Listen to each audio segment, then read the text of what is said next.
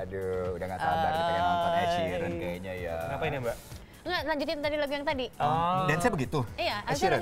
Oh, oh, Na, oke, na, oke, na, oke. na, Agak na, aneh ya. Ini seru ya Ed Sheeran.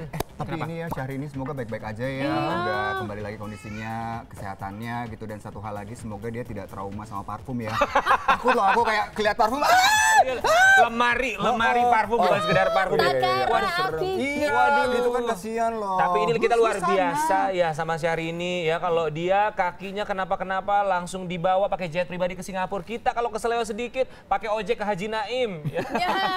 Dilurusin tapi kakinya. rezeki anak soleh, apalagi ini kan mereka baru menikah, ya kan, lagi Iya, mesra-mesranya. Uh, hati Semangat ya. ungu luar biasa deh pokoknya semoga sehat selalu Syahrini. Yes. Dan berikutnya nih yang bisa bikin sehat juga adalah ketika kita bersama dengan keluarga menghabiskan quality time bersama-sama. Ya. Tapi tempatnya juga harus oke dong. Betul, di sini nih yang baru Trans Studio Mall Uh, Cibubur. asik. Di sana seru banget karena memang selama 600 jam 2 bulan penuh ada banyak sekali eh, hiburan dan juga aktivitas yang bisa Anda ikutan juga pemirsa Insight ada Transmedia Festival. Yes. Termasuk kalau Anda sudah mampir ke sana yang paling unik adalah tempatnya di sana bisa selfie spotnya keren Oh, banget. Instagramable. Wih, cakep Ya. dong. Kemarin tuh ada juga tuh ya eh, sekelompok ibu-ibu yang senam bareng dalam mall. Ah, cakep loh. Waduh, Senam di dalam mall. sambil Pocok-pocok. olahraga Aduh, gitu, eh, Tapi kalau deh. sekarang nih ngapain nih? Langsung Ah. aja ya kita terhubung dengan Rulia Bimargana. Abi.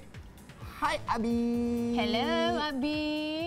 Dan Patricia Go. Nah sekarang saya masih ada di Trans Studio Mall Cibubur. Nah kali ini di Trans Studio Mall Cibubur lagi ada spelling competition ya. Dan sekarang ini lagi bareng adik-adik yang mengikuti competition. Dan ini ada yang juara satunya nih. Gimana perasaannya? Gak tahu. How do you feel? Eh, happy. Happy? Hadiahnya apa? Uang. Uang berapa? 1,5. Wah luar biasa. Kamu tadi juara berapa? Dua. Gimana perasaannya? Hmm, baik. Baik. Yang juara tiga tadi mana? Ayah. Oke, gimana perasaannya? Eh, senang sih. Oh, senang. Ya, gak nyangka dapat juara. Oh, wah luar biasa ya kalau misalkan kan otomatis mereka nih spelling bahasa Inggrisnya tuh udah keren-keren banget makanya mereka juara. Coba kita cek satu-satu untuk memperkenalkan diri pakai bahasa Inggris coba. Introduce yourself. I'm Asha and I'm 11. 11 years old. Yep. Wow. Kamu. Uh, I'm Dinara. I'm in the fifth grade and I'm 10 years old. Oh, masih muda-muda ya. Kamu. I'm Hilsham and I'm 10 years old. Oh, pokoknya ini Indra, Rian dan Petgo di sini gila keren-keren banget, anak-anaknya pinter-pinter banget. Yang pastinya ini di sini eh, luar biasa sa- sekali. Negakkan. Coba saya saya tuh ke kamera tuh. Say hi. Ya. Coba sini kita ngobrol. Kamu siapa namanya? Kalista. Kalista. Kamu? Kamu? Isala. Tadi kamu juara nggak? Enggak. Oh, kamu nggak ikut? Kamu ikut? Juara berapa? Gak tahu. Nggak tahu. Juara satu. Oh, juara satu.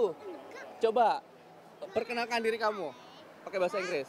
Hello, my name is Kalista. Heeh. I am seven years old. Oh, tujuh tahun. Coba kamu. Hello, my name is Gisela. I'm I'm five years old. Oke, kamu.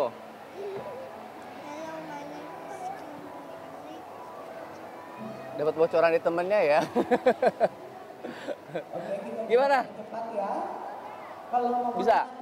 Oke, ya pokoknya di, di sini Rian seru banget semuanya. Yang pasti ini masih ada kegiatan-kegiatan lainnya. Yang pastinya ini buat kalian kalian semua nih pemirsa Inset di rumah yang kawasan rumah-rumahnya deket sini jangan lupa besok datang aja langsung ke sini langsung karena di sini akan ada live tripod, eh, akan ada siaran langsung di sini besok ada beberapa program dari Trans TV pokoknya harus datang. Oke, sekarang saya balikan lagi ke studio ke Rian, Indra dan Petgo.